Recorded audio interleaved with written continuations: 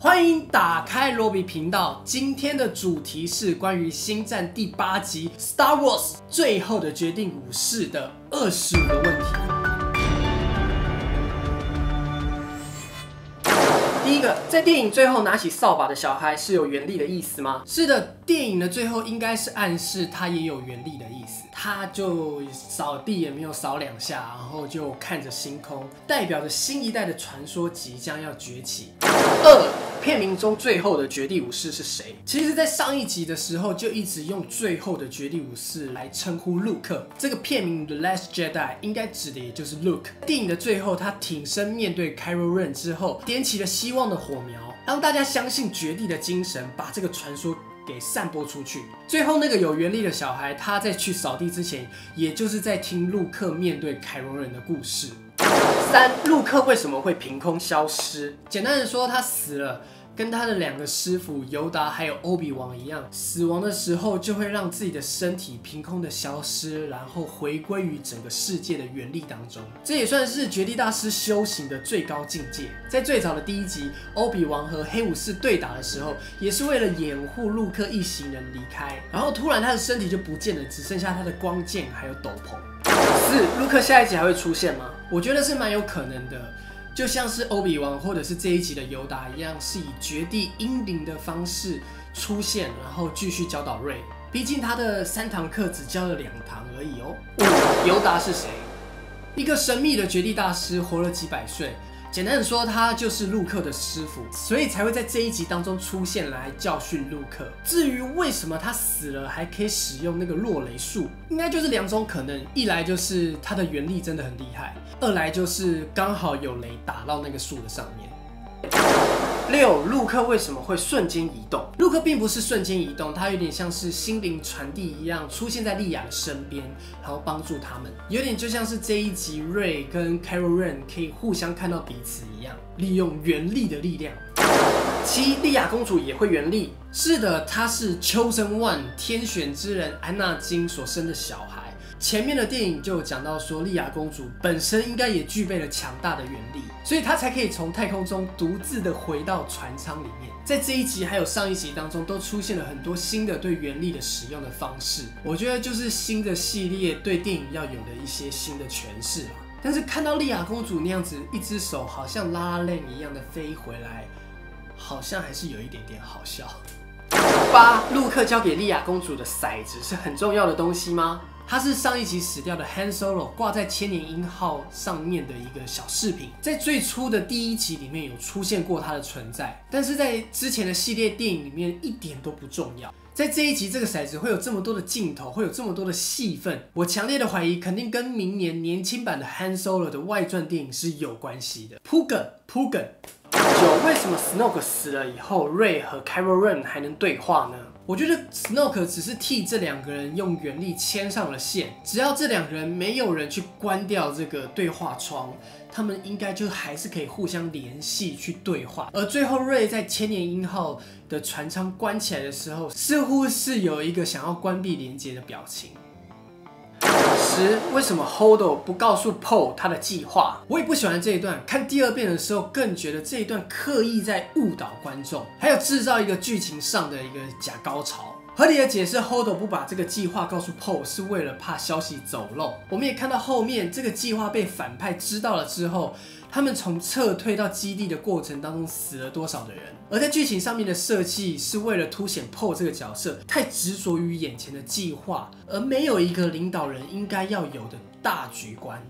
十一，为什么反派的船舰追不上反抗军的船舰？电影里面有说第一秩序的船舰是因为太重所以太慢。再来，当然是因为剧情的需要。然后曹操会告诉你，当你的武力大量的赢过对方的时候，你是很容易轻敌的。而且看着对手慢慢的走进死胡同的那个感觉，其实是蛮爽的。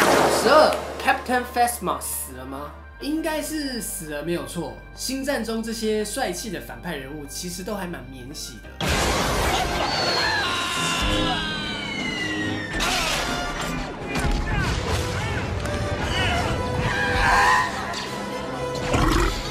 集他被丢进垃圾场里面，这一集再出来死一次。如果下一集他还有他的戏份的话，我想我应该会笑出来才对。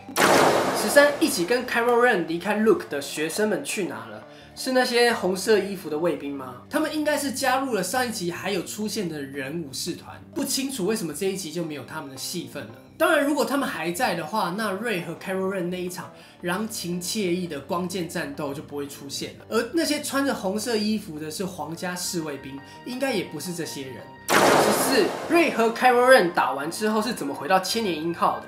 电影里面其实有说，他要丘巴卡等他发讯号之后，随时来接他。所以脑补一下，应该是这样子的：他在爆炸之后先醒了过来，然后拿走了断成两截的光剑，坐在 Snoke 的求生舱里面发出讯号，回到了千年银号。十五，瑞和 Carol Ren 之间有感情吗？看起来是非常的有机会。瑞在进入到那个洞里面，面对完自己的黑暗面之后，和 Carol Ren 之间在对话的那一场戏。其实非常的感人，非常的好看。到他们两个人的手接触在一起的那一段戏，我觉得是这部电影非常大的一个亮点。两个人有着某种程度的共通点，还有相同的情感，才有办法彼此一直被原力所联系着。我想下一集两个人肯定会有更多的感情戏，而这这两个人的关系可能会决定这部电影最后的大结局。十六，瑞和 Finn 之间有感情吗？应该也是有的。在上一集里面，瑞一直把 Finn 当成是反抗军的英雄一样的看待。中间虽然 Finn 打算要离开，但是后来瑞又在反派的基地里面遇到了 Finn 要来救他，他是非常的开心的。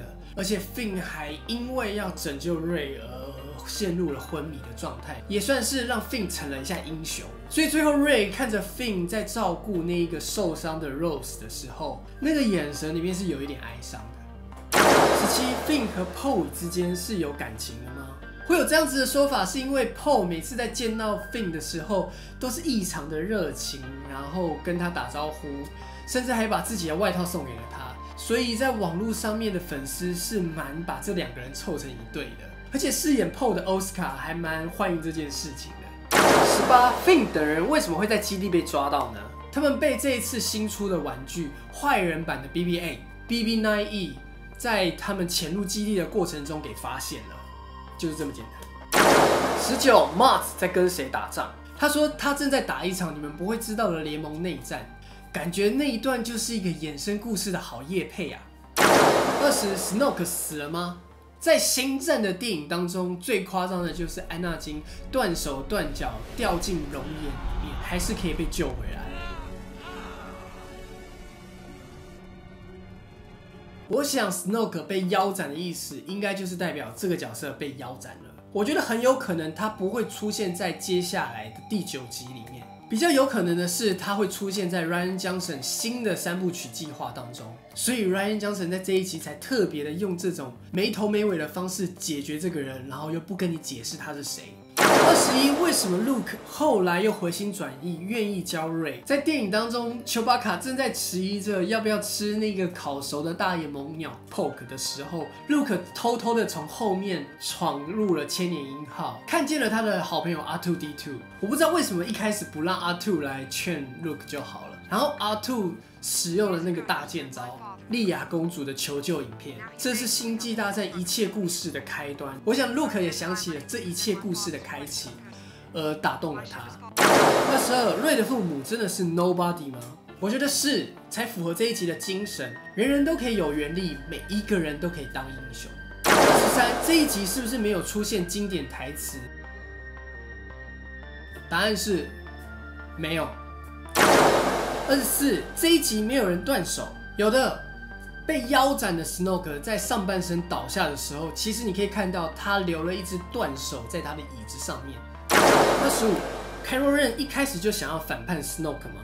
我觉得是临时起意的。在这一集当中，Carol Ren 发现自己的弱点，就是心中一直挥之不去的那个善与恶的挣扎。他永远没有办法像黑武士 Darth Vader 一样，成为一个冷酷无情的一个战士。而他发现自己永远没有办法成为心中的偶像的时候，又遭到 Snoke 的利用。他可能没有办法接受又一次的被自己的老师给背叛了，所以就决定一口气全部的铲除一切。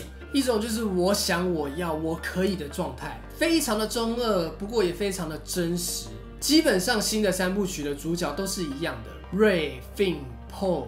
Carol Ren 都处在一个青少年的心智状态。基本上这几个人都很中二了，他们都需要有人带领，非常的冲动、热血，同时又很迷失，有点像是所有的主角都是前传三部曲中的 Anakin 一样。而在这一集当中，几个年长的角色都一一的退场。希望可以在下一集当中看到这几个角色都有比较明显的成长。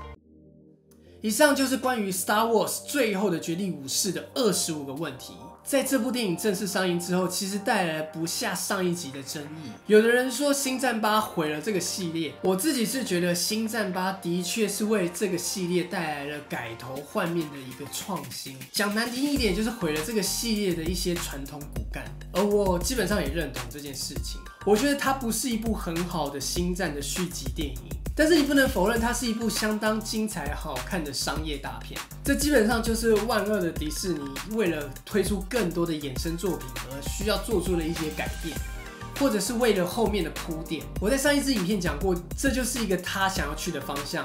你不喜欢没有关系，他很明显的想要拓展更多新的影迷。我们只能静观其变，接下来的作品他会往哪个方向走了。今天这支影片的类型算是一个我新的尝试，希望你会喜欢今天的内容，请帮我按赞，还有把它分享出去，还有找到你的订阅钮，订阅我的频道。如果你想要在第一时间之内知道我上传影片的消息，别忘了在订阅之后再按下那个小铃铛。如果你有任何的意见或者想法，欢迎在下面留言让我知道。这是罗比频道，祝你今天有个美好的一天，我们下次影片见了，拜拜。